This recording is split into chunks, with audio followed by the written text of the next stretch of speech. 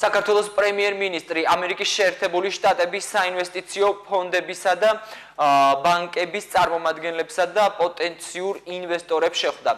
როგორც შეხვედრაზე აღინიშნა, რეგიონში კრიზისის მიუხედავად საქართველოს ეკონომიკური ზრდის მნიშვნელოვანი ტემპები აჩვენა.